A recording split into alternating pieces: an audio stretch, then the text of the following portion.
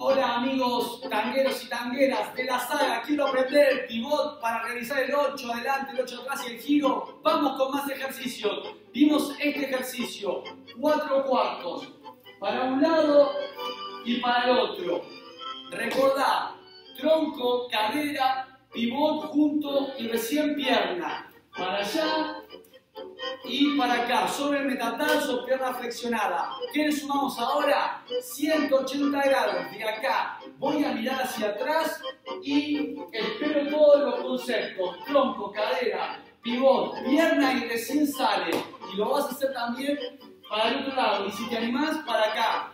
También. Ahí. Y uno más, chiquitito.